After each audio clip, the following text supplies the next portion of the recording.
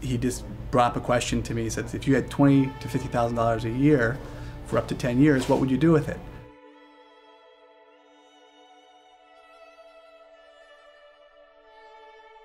The whole idea, honestly, at its core, is to reconnect, um, in some cases, connect uh, high school students to nature.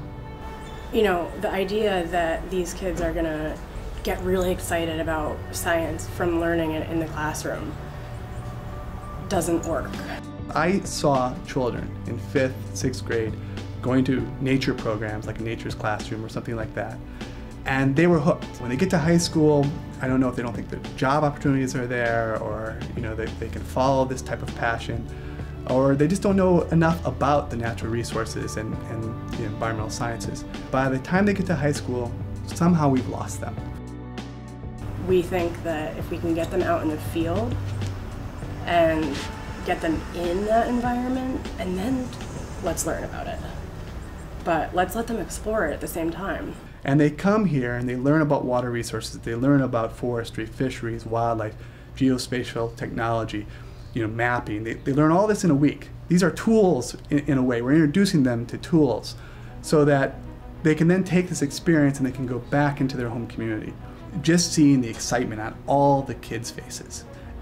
But not just the kids, but the graduate students, the undergraduates, the faculty, the staff, everyone is passionate about this. It reminds me of myself and, and how interested I used to be and how I just used to eat up any information um, regarding natural resources. And, you know, going through five years of school now has kind of made me forget about how eager I used to be to learn about all this stuff. You feel good when the, the student comes to you and you know, has a true honest question or maybe even stumps you. You have to go look something up.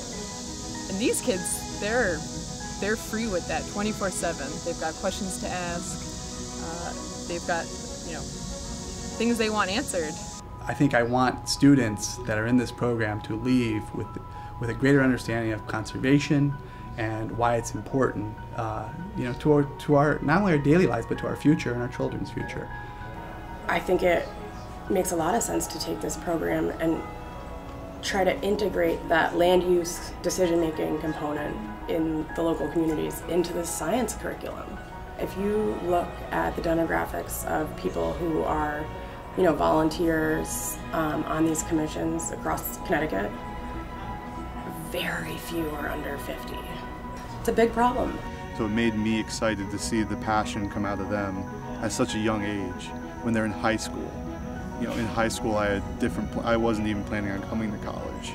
So for them to have already, you know, some of them freshmen going into their sophomore year, to be able to see that they've already had a grasp of what they wanted to do and they were pursuing it. I really get to see the transformation that happens among, among these students. These students come from a huge spectrum. Some that spend a lot of times outdoors.